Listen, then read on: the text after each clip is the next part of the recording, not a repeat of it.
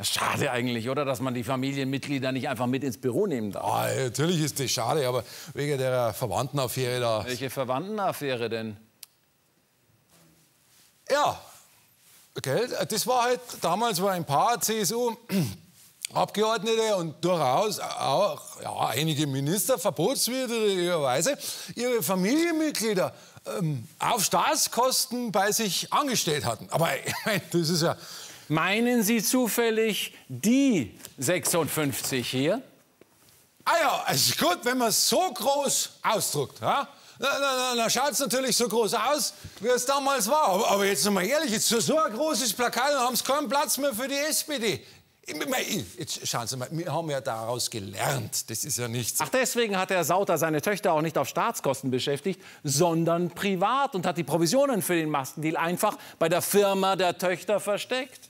Ja. Und sagen Sie jetzt nicht, deswegen heißt es auch Tochterfirmen. Noch nicht.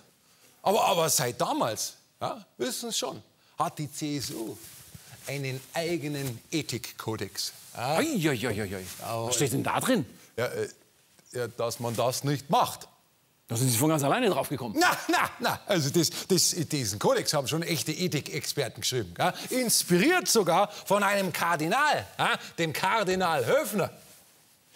Sagen Sie, äh, war der Kardinal Höfner nicht äh, vor allem Experte in der Duldung von sexuellem Missbrauch? Ja, es ist die Duldung von Missbrauch und die CSU. Sehen Sie hier wieder zwei Dinge miteinander vermischt, ja, die nichts miteinander zu tun haben. CSU und Ethik. Ja, genau. Ja, da ist in dem Ethikkodex auch, steht da ganz deutlich, klipp und klar drin, dass die Abgeordneten, ja, die müssen in den Parlamenten offenlegen, in welchen Größenordnungen sich ihre Nebentätigkeiten abspielen. Na, vielleicht haben der Sauter und der Nüsslein nicht gewusst, dass sie eine Ethik haben. Na, na, na, na das haben die ganz genau gewusst. Die, weil, weil wir von der CSU, wir haben ja extra einen Compliance-Ausschuss gegründet, wegen, wegen der Korruption. Für die Partei oder fürs Image? Sie, das ist eine ganz bösartige Untertreibung. Ich frage nur, weil seit Einrichtung dieses Ausschusses vor sieben Jahren dieser nicht ein einziges Mal getagt hat. So?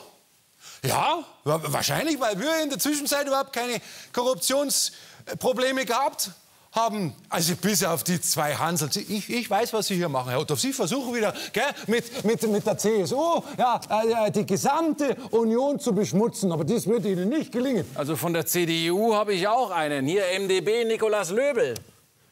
Ach so. Ja, sehen Sie, äh, es ist ja nicht nur ein CSU-Problem. Ach, der hat 250.000 Euro für Maskendeals kassiert. Ja, schauen Sie, also wir von der Union haben ja blitzschnell reagiert. Ja? Und wir haben alle Abgeordneten im Bundestag aufgefordert bis zum 12. März. Da müsst ihr eine Ehrenerklärung unterschreiben, dass ihr euch nicht bereichert habt. Äh, also auch der äh, Mark Hauptmann, MdB aus Thüringen, ja? Äh, der Mark Hauptmann. Äh, schauen wir nach, schauen wir nach, ob der Mark Hauptmann so. Ja, ja, schauen Sie, der hat auch unterschrieben. Gell? Am 10. März, genau. Ja? Und da sehen Sie, es ist ein sehr effektives Instrument, diese Ehrenerklärung, weil Wer würde denn seine eigene Fraktion anlügen?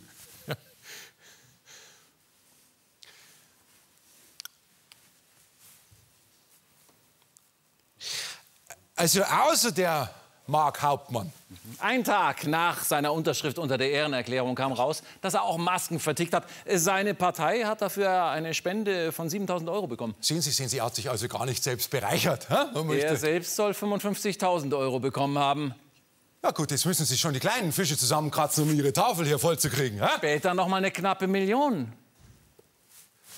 Ja gut, ich meine, wo beginnt Bereicherung? Wo hört sie auf? Meine, Im Vergleich zum Sauter ist doch... Sie, Sie, der Mark Hauptmann, der hat doch eingesehen, es war ein Fehler und hat Platz gemacht, hat sein Mandat hergegeben hey, und dann hat er Platz gemacht, quasi für den nächsten sauberen, äh, anständigen CDU-Bundestagsabgeordnetenkandidaten.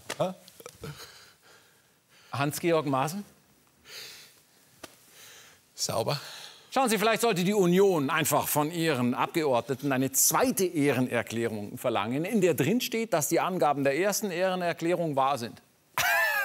oder, oder eine dritte Ehrenerklärung, Aha, wo man bestätigt, dass das, was in der zweiten Ehrenerklärung drin steht, auch stimmt. Was ja eigentlich nur äh, ist, dass man äh, das, was man in der ersten Ehrenerklärung gesagt hat, auch tatsächlich bestätigt.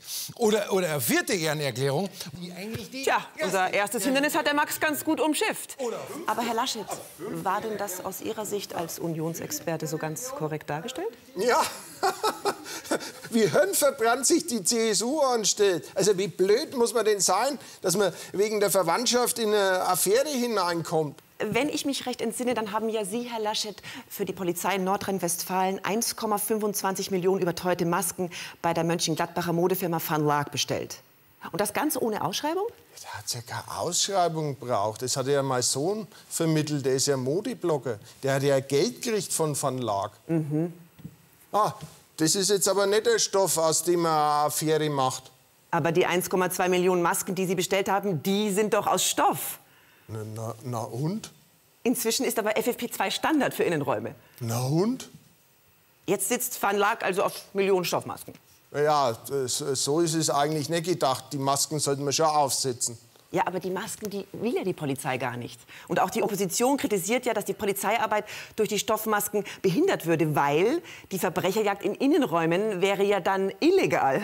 Ja, aber der Maskenauftrag ist ja schon beendet und es ist alles neu ausgeschrieben. Äh, also dann jetzt für FFP2-Masken? Na, für Stoffmasken.